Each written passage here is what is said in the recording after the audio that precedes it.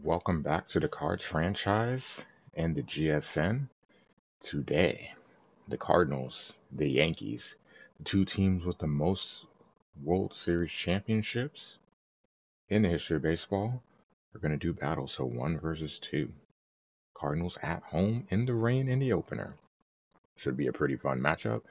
On the bump for the Cardinals, Jack Flaherty, their young stud, when healthy on the bump for the Yankees, former Astro, former Pirate, Cy Young candidate, Gerrit Cole.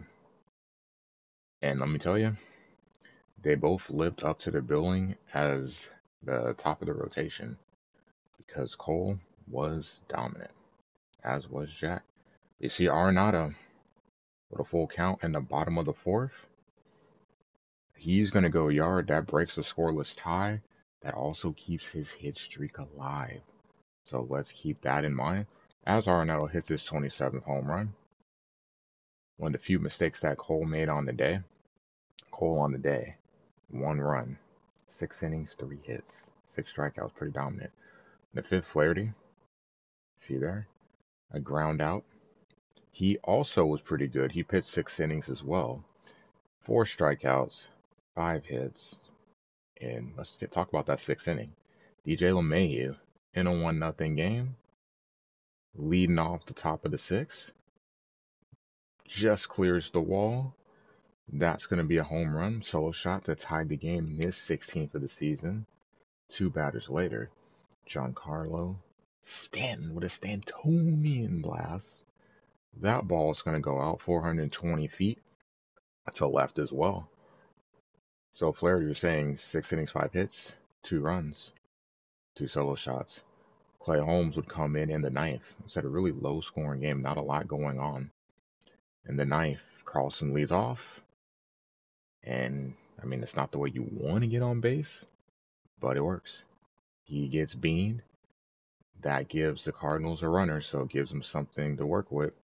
Hadn't had too many of them in the game, but Arenado grounds into the 6 4 3 and the Yankees win.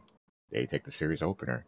Nine combined hits by the teams. Both bullpens pitch really well. Six combined innings for the pen. Only one hit allowed. Going on to game two.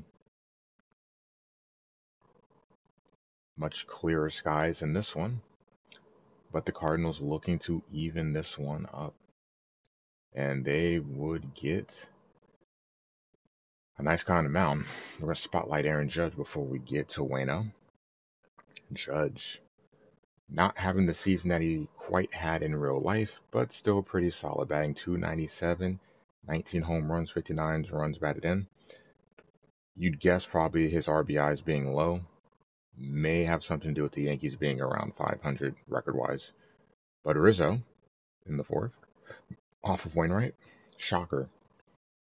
A former Cub who's done he had tons of at bats against Wainwright, I'm sure. Drives in the RBI on the single. Wayno dances out of trouble. Looks like it could be a big hit there, but it's just a fly out to right. In the bottom half, Arenado off of Luis Severino. He gets his first hit of the game, and that's going to extend his hit streak to 17 later on that inning, let you know he really did some good. Hart, I want to say the ex Yankee, but I guess in this alternate timeline, he never really was. But he's going to go yard starting the second half of the season off with a bang. His 24th home run of the season, Cardinals, 3 to 1.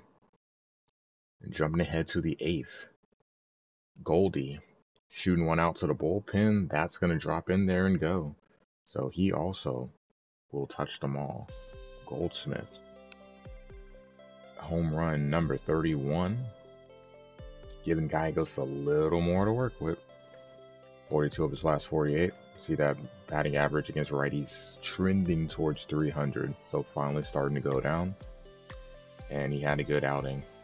A 1 2 3 inning. Gets Bader to fly out to left and the Cardinals will even up the series four to one. So the Cardinals still didn't hit well in this game. Five hits, seven hits for the Yankees. Wainwright, though, pretty good. Six in the third, seven hits, one run, three strikeouts. His 15th win of the season. Gallegos a clean ninth for his 43rd save. Severino, three hits and three runs over five innings. He also did have three walks. For the Cards, Arenado did have two hits, so he had two of the five. For the Yankees, Judge and Bader are the only ones to not have hits. Everyone else in the lineup did have a hit. And now the rubber match.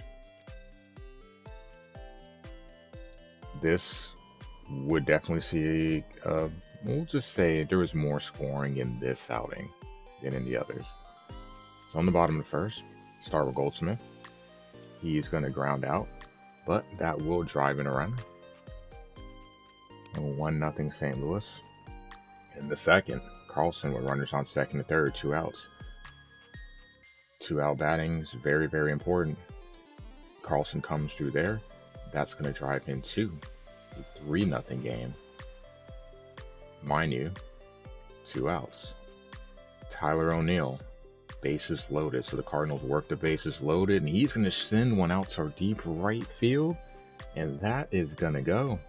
Drops into the bullpen, Oppo Taco his 39th and a big lead. Grand slam for O'Neill.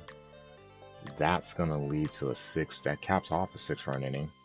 And the Cardinals comfortably ahead. Meanwhile, on the bump, Miles Mikolas, dominant. A full nine innings, seven hits, four strikeouts. Going to the sixth.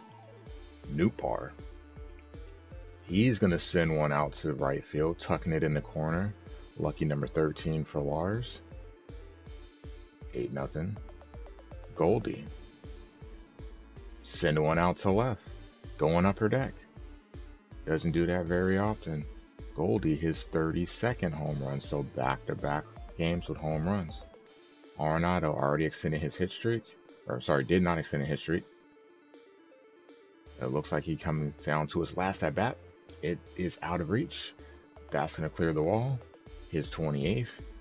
So three solo shots in the sixth. And he's able to keep his hit streak alive. On to the ninth. You can see Judge didn't do a ton of damage in the series, but he gets Miles there, so he's not able to get the complete game shutout. Two run home run for Mr. Judge, all rise.